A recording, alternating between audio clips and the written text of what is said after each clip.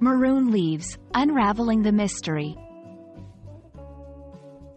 Hello everyone, and welcome to our English Learning channel. Today, we're going to explore the phrase, maroon leaves. This phrase can be a bit puzzling, especially for English language learners, so let's dive in and unravel its meaning together. Firstly, let's break down the word maroon.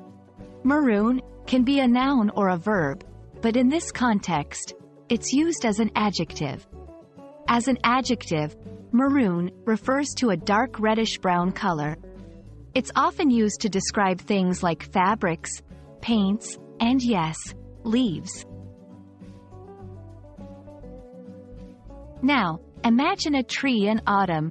The leaves change from green to various shades, including red, orange, and our focus today, maroon.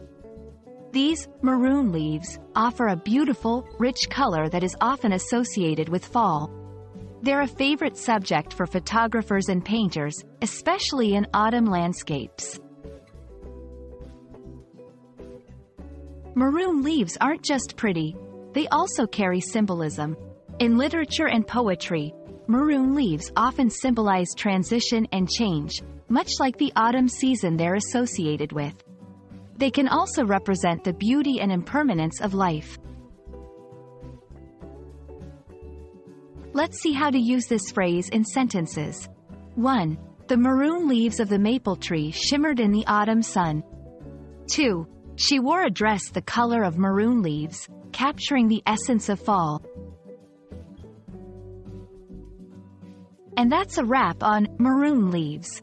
Remember, language is full of colorful phrases like this, and each one adds beauty and depth to our expression. I hope this video helps you appreciate and use this lovely phrase in your English conversations. Keep learning, and see you in the next video.